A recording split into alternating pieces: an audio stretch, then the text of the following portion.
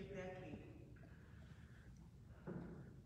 Welcome to worship this morning at Gloria Dei Lutheran Church here in Coos Bay, Oregon. Uh, those serving in our worship today are, of course, Becky Bell Greenstreet on piano, uh, David Mo Aker and Doris Smith on vocals.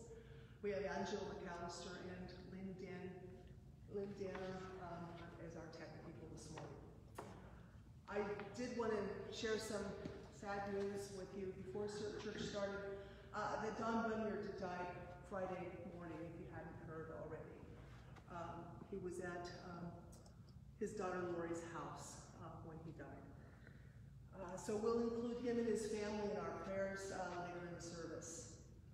Dorothy Miller also was admitted to the hospital on Friday. Um, and so we'll be holding her in prayer as well. She's got uh, kidney stones, so it's painful, I'm sure. So um, let's take a moment to center our hearts and our minds on Jesus Christ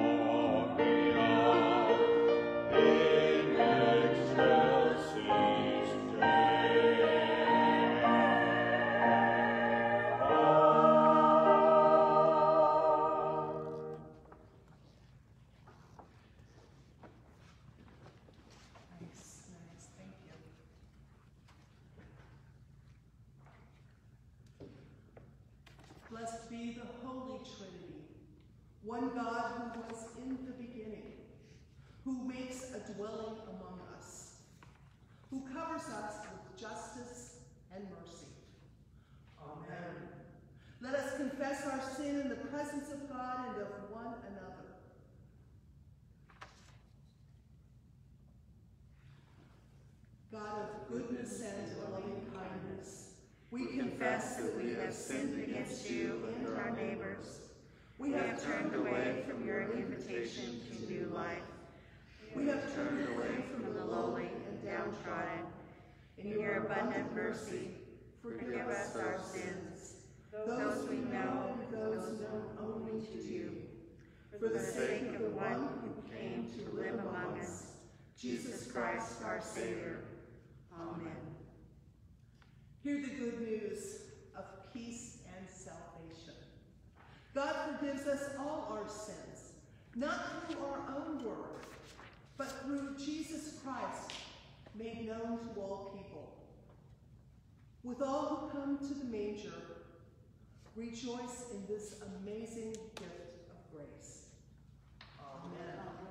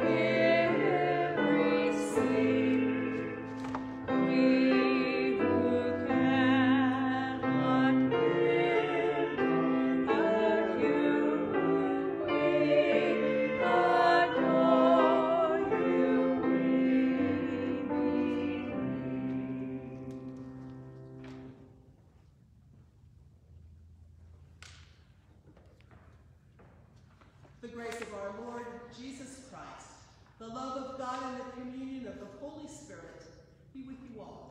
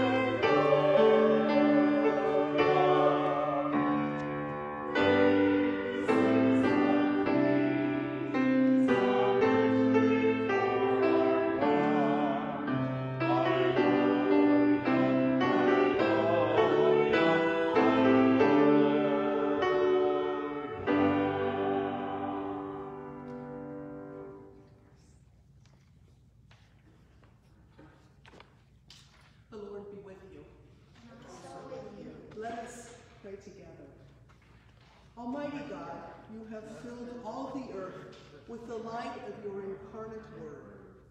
By your grace, empower us to reflect your light in all that we do. Through Jesus Christ, our Savior and Lord, who lives and reigns with you and the Holy Spirit, one God, now and forever. Amen.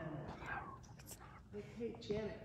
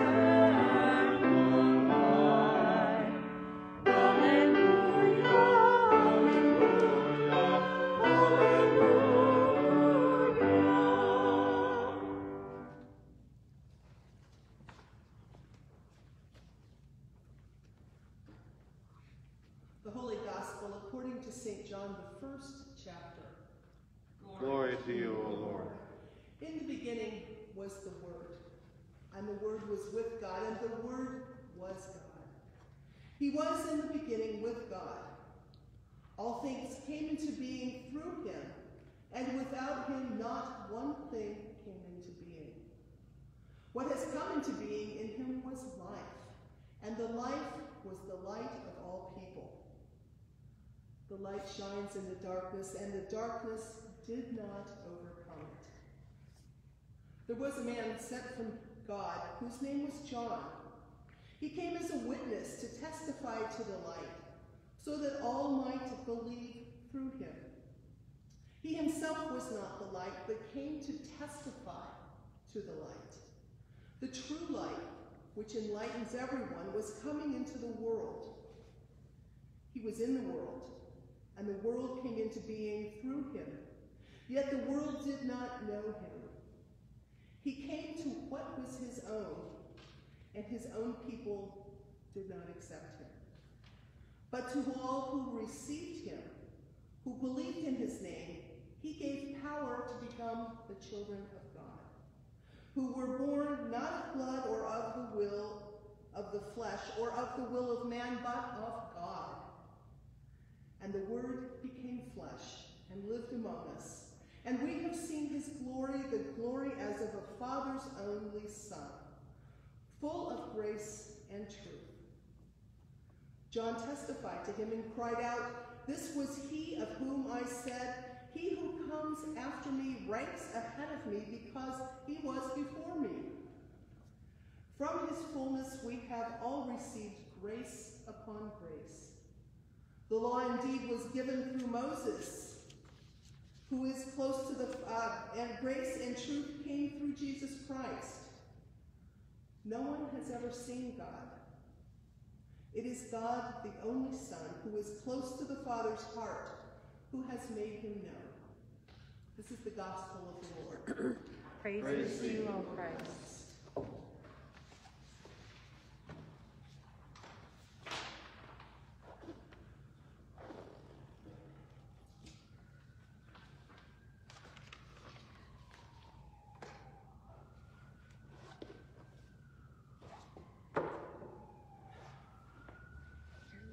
In the beginning, when John began to write his story of Jesus, he decided to start by quoting the beginning of Genesis, or really the beginning of the whole Bible.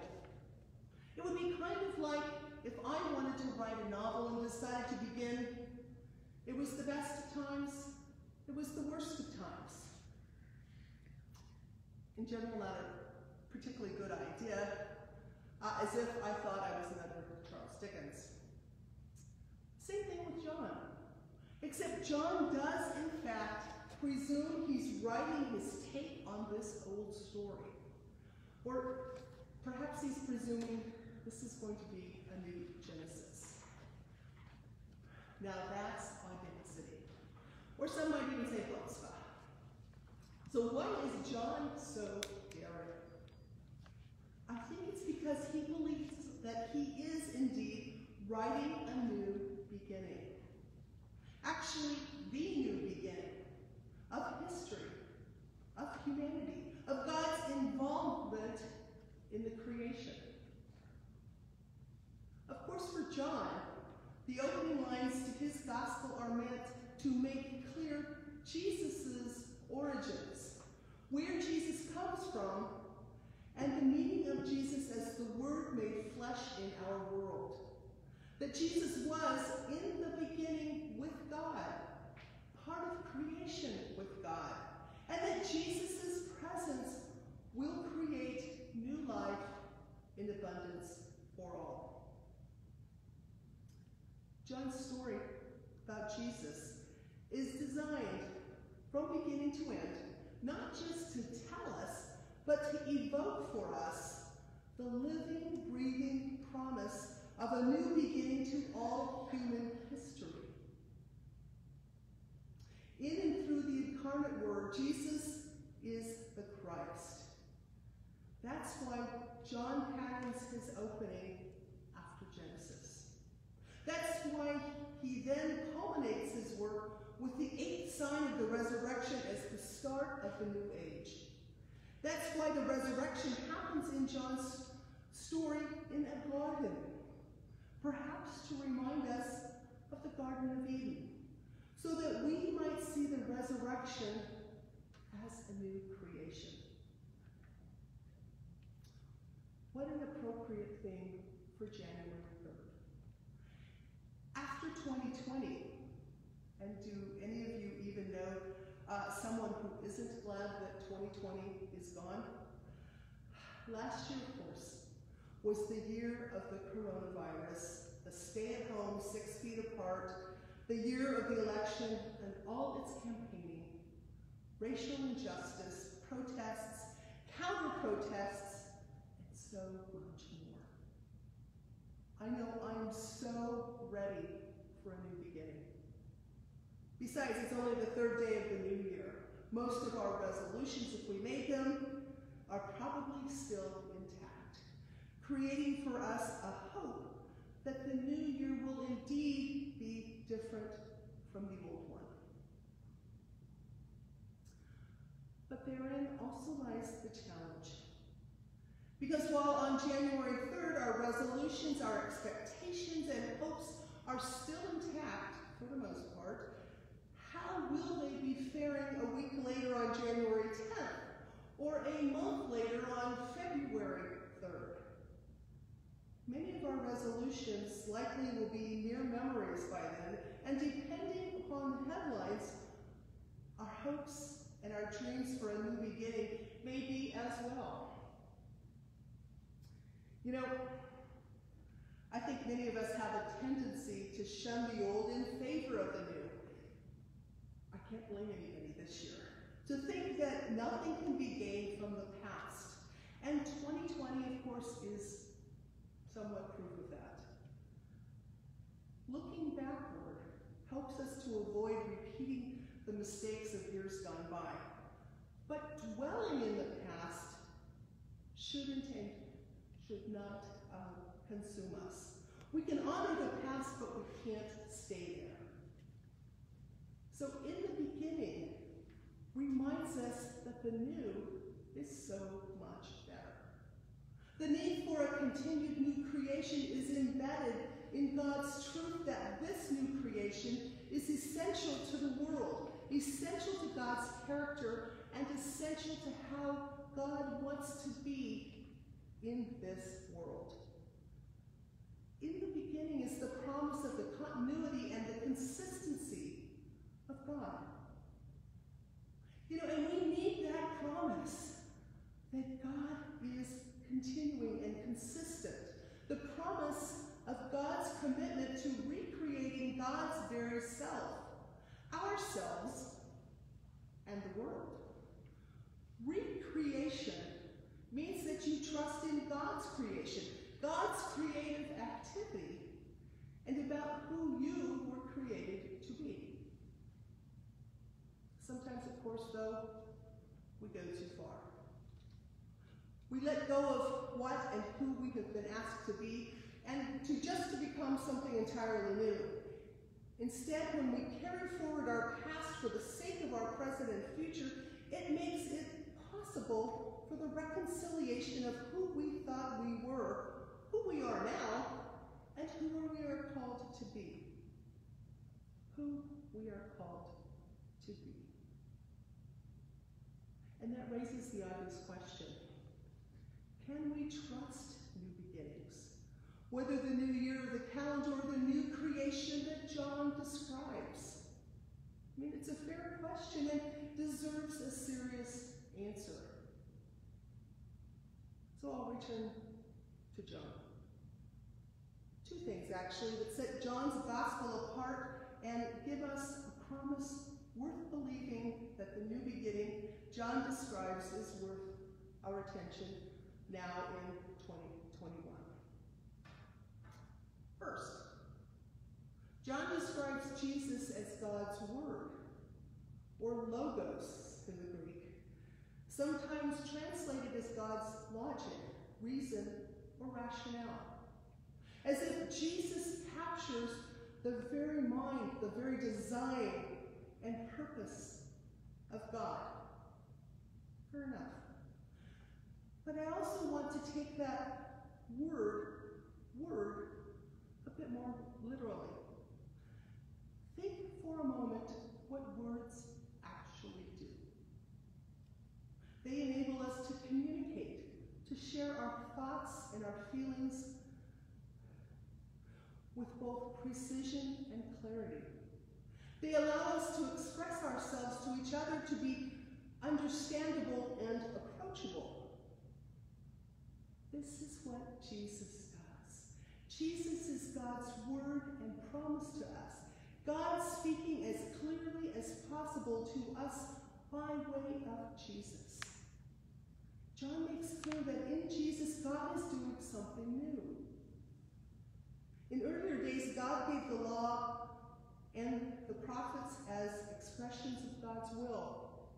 But now, God is going a step further, actually speaking to us directly and personally in the life, death, and resurrection of Jesus.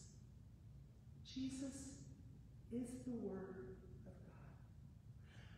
Second, and connected, this new tangible and fleshed Word opens up the possibility of a new relationship with God. No one, John testifies, has ever seen God.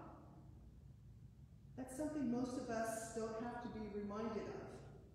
When tragedy strikes, when disappointment crushes us down, when hope of happiness flees, we often wonder where God is and sense the physical absence of God far more profoundly than we've probably ever experienced God's presence in our lives. There's a reason, after all, that the old insurance policies promise to protect homes from fire, flood, storm, tornado, and other acts of God. An unknown God is unpredictable and untrustworthy. Which is why God comes to us as God's Word made flesh. To reveal to us God's unconditional parental love. And not just to reveal, but to speak through word and deed as eloquently as possible. That there is nothing God wouldn't do. Nowhere God won't go, nothing God won't endure, even the loss of God's beloved Son, that we might know that we are God's beloved children, worthy of dignity, honor, and love.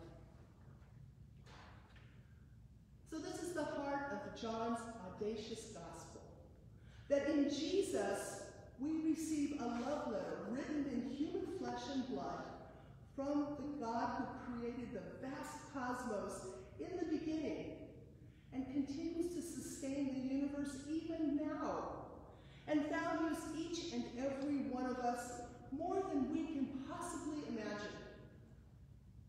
And that word, well, it creates all things new, taking our resolutions and our hopes as well as our fears and disappointments and binding them all together into the promises of God. God becoming human is in the beginning in its fullest form. It's light once again. It's the goodness of humanity once again. It's God recreating God's very self because that is who God is and that is what we as all believers have become. Reborn children of God.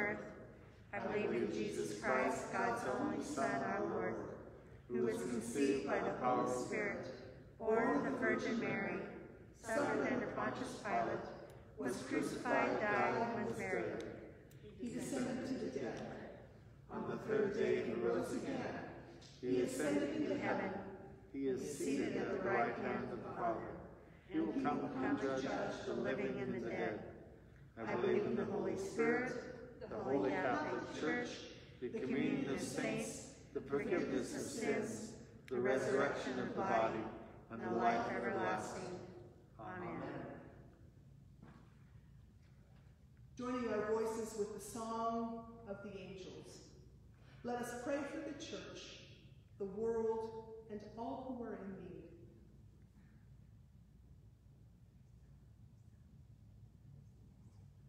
Redeeming God, you gather together your people from the farthest parts of the earth. Protect your church from stumbling. Let it not be overcome by sorrow, division, or despair. Make us radiant with goodness, that we might live always to the praise of your glory. Hear us, O God. Your mercy is great. You bring together heaven and earth. All creation testifies to your splendor. Hold the ecosystems of this earth in delicate balance, from coastlands to farmlands, forests to wetlands, deserts to rainforests. Show us new ways to live in harmony with the world around us. Hear us, O God. Your mercy is great. You overflow with grace upon grace. Expand the imaginations of those who serve in positions of authority. Open their hearts to the needs of their nations and communities. Protect all those in harm's way and those risking danger for the sake of others. Hear us, O God. Your mercy is great. You bring consolation to those who weep. We pray especially today for Lori and Susan and the whole family on the and their whole family on the death of Don Bunyard on Friday. Embrace those who feel far off, excluded, or defeated. Accompany those living with chronic and invisible illnesses. Sustain the weak and the weary. Refresh those who labor under the weight of pain or sickness. We pray for Jeff Pace, for Lucy Johnson, for Dorothy Miller, and Leslyn Danielson. Hear us, O God. Your mercy is great. For whom or for what else did the people of God pray? Maria Masiba. For Carol. For Jeff.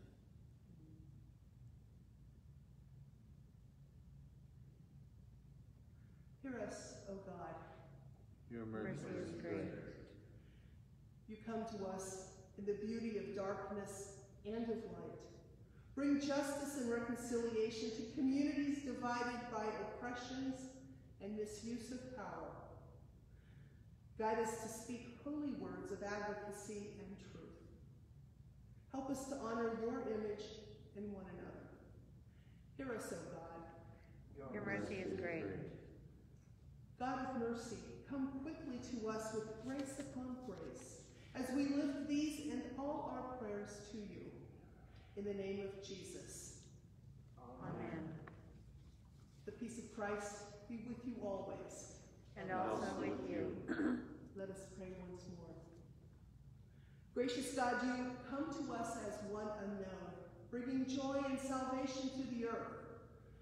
Nourish us at your banquet table, that with all who welcome your birth, we may proclaim your peace, revealed in Jesus Christ, our Savior. Amen. Amen. The Lord be with you. And also with you. Lift up your hearts. We lift them to the Lord. Let us give thanks to the Lord our God. It is right to give our thanks and praise. It is indeed right, our duty, and our joy, that we should at all times and in all places give thanks and praise to you, Almighty and merciful God, through our Savior, Jesus Christ. You comforted your people with the promise of the Redeemer, through whom you will also make all things new in the day when he comes to judge the world in righteousness. And so with all the choirs of angels, with the church on earth and the hosts of heaven, we praise your name and join their unending hymn.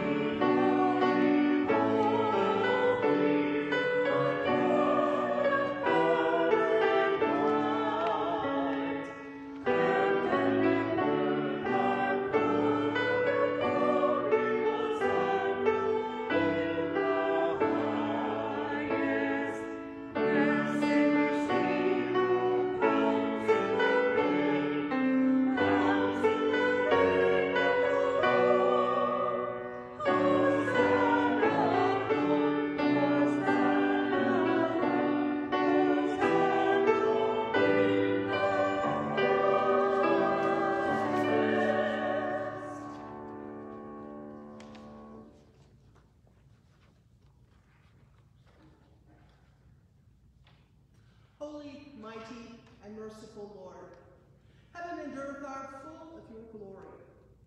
In great love you sent to us Jesus, your Son, who reached out to heal the sick and suffering, who preached good news to the poor, and who on the cross opened his arms to all.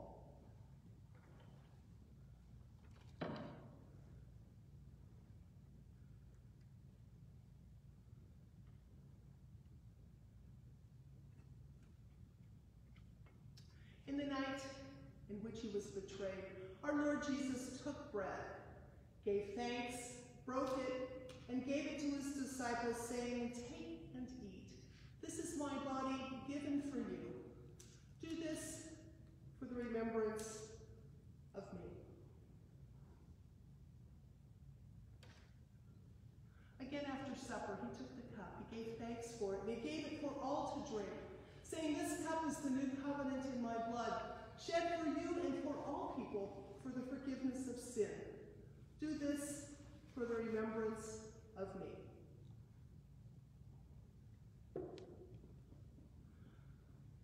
Remembering, therefore, his death, resurrection, and ascension, we await his coming in glory.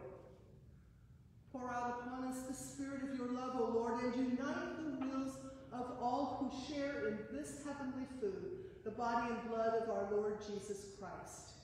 To whom with you and the Holy Spirit be all honor and glory now and forever. Amen. Lord, remember us in your kingdom and teach us to pray. Our Father, who art in heaven, hallowed be thy name. Thy kingdom come, thy will be done, on earth as it is in heaven. Give us this day our daily bread, and forgive us our trespasses, as we forgive those who trespass against us. And lead us not into temptation, but deliver us from evil. For yours is the kingdom, the power, and the glory, forever and ever. Amen. The Word is revealed in a manger, in simple bread and wine. Come meet Christ in this meal. thank you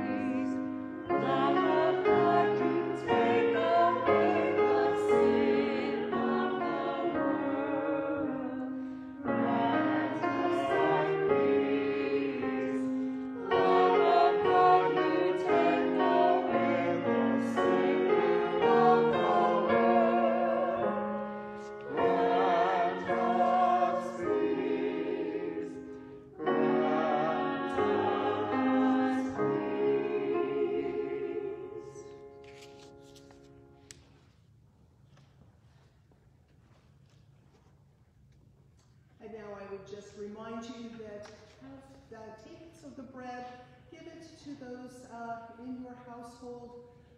This is my this is the body of Christ given for you. The response is thank you. This is the blood of Christ to shed for you. The response is thank you. No, it's amen. The response is amen. so they get without having a script. So, um, and if you're by yourself, say those words to yourself, respond amen each time.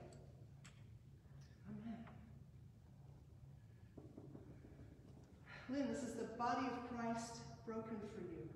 This is the blood of Christ shed for you. Angela, this is the body of Christ broken for you, the blood of Christ shed for you. Mo, this is the body of Christ broken for you, and the blood of Christ shed for you. Doris, the body of Christ broken for you, and the blood of Christ shed for you. David, this is the body of Christ broken for you, and the blood of Christ shed for you. Becky, this is the body of Christ broken for you, and the blood of Christ shed for you. Amen. Amen.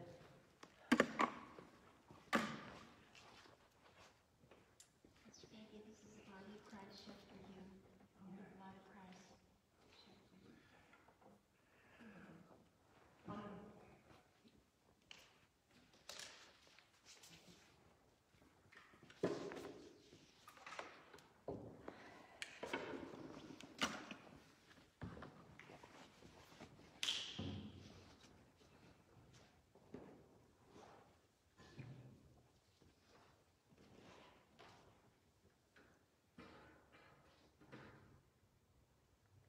The body and blood of our precious Lord and Savior Jesus Christ strengthen you and keep you in his grace.